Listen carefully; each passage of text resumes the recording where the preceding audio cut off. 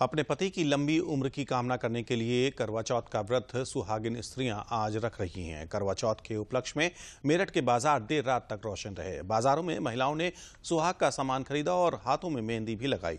आज सुहागन स्त्रियाँ करवा चौथ का व्रत रखकर अपने पति की लंबी उम्र की कामना करेंगी और चाँद देखकर ही व्रत खोलेंगी।